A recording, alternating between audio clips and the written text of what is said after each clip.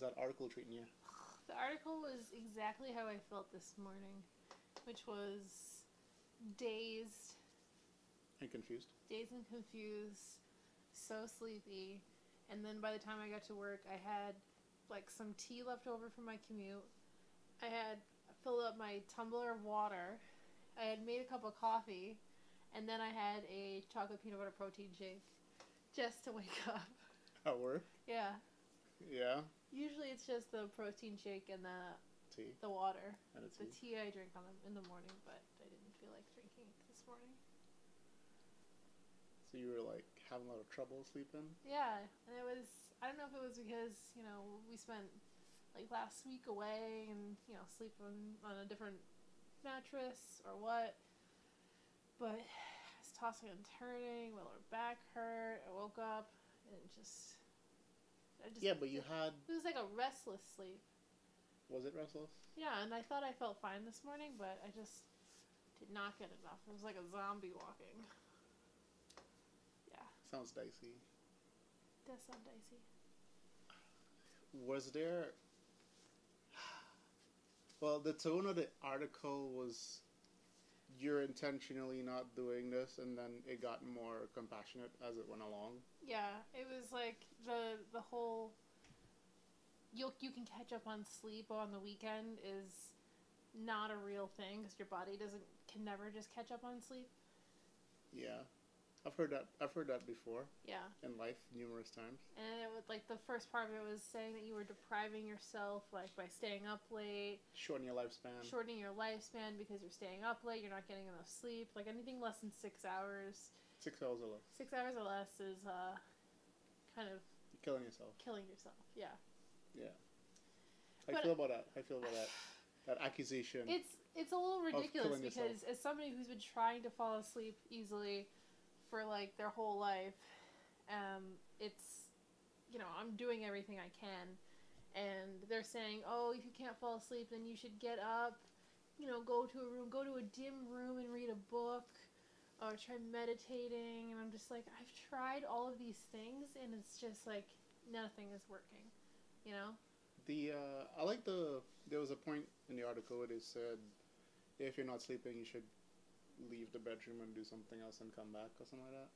Yeah, because it's so you don't associate your body doesn't associate the bed with like being awake. Yeah. How'd you feel about that? That makes sense. I mean, there have been times when I haven't been able to sleep and I've got excuse me.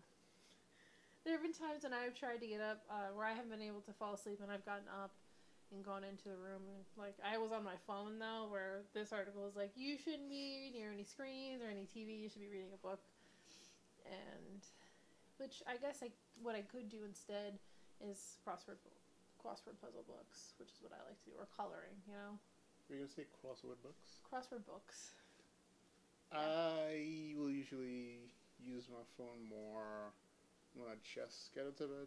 Um, I could be on it for up to two hours, getting sleepy, yeah but not quite sleeping yet, or like nodding off and like waking up. It's like, oh, I was watching something, yeah and then um, when I'm like, okay, like when like when I can't fight the tide of sleep anymore, then I'll take the screen off, plug it in, and then fall asleep. Yeah, there are times when I've woken up in the middle of the night to use the bathroom or something or to get more water.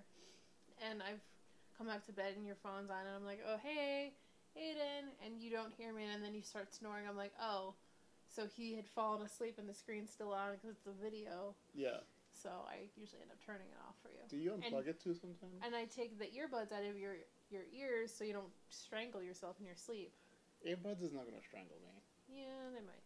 Um, sometimes I wake up and it's unplugged, and I'm like, did I wake up and unplug it, or like, did know. it come I- apart? I don't unplug it. I just pull it out of your ear and then put it underneath the Yeah, but I don't usually I don't usually use the earbuds that much right now. Sometimes you do. One time I you Had an earbud in. yeah, and I took it out and put it underneath your pillow. Well, one time it was around my neck, just FYI, but that was just the one time, and it wasn't ne- nearly enough to strangle me. That's why I know it's not nearly enough to All strangle right. me. Well, I'm just saying. so you don't have to worry about that. All right.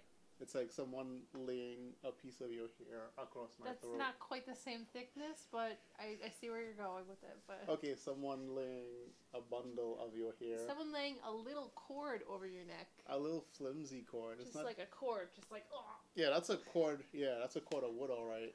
Yeah, it's not a cord of flimsy stuff. Yeah, uh, it's um. Yeah, sometimes I'll, so- sometimes I'll be more. I don't want to sleep just yet. Um, but you have to like that's that's intentional. I could sleep anytime I want, really, but I'm just like, all right, let me. Whatever. Nah, it is what it is. I know, we're different Uh, people. Yeah, uh, but you have a lot more problems staying asleep. I think. Like I feel like you will not off faster, but Yeah, you wake up in the night and be up. yeah. That's usually what happens. Like I I can fall asleep pretty quickly after like, you know, working out and then taking a shower, cooling down, and then like taking some melatonin and magnesium. And then after like a half hour or so, I'm like a little sleepy, and I get into bed and I fall asleep. And then like three or four hours later, I'll wake up to use the bathroom because The spell's broken. and then it's gone. Three and then hours I'm like, Three four hours later, spell's broken. so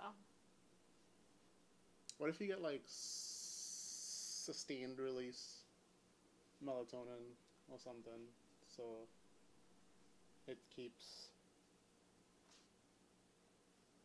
We could look into it. could look into it. Uh, any tips from the article that you think you might implement that you haven't tried yet in your many years of being alive?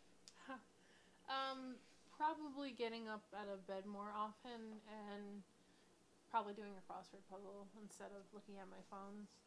Um, other than that, like the other option was staying in bed and meditating.